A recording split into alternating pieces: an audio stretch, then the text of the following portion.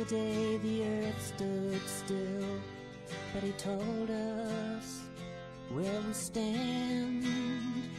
And Flash Gordon was there in silver underwear. Claude Rains was the invisible man. Then something went wrong for Fay Wray and King Kong. They got caught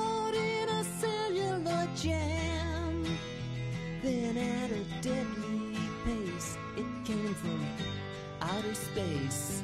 And this is how the message ran.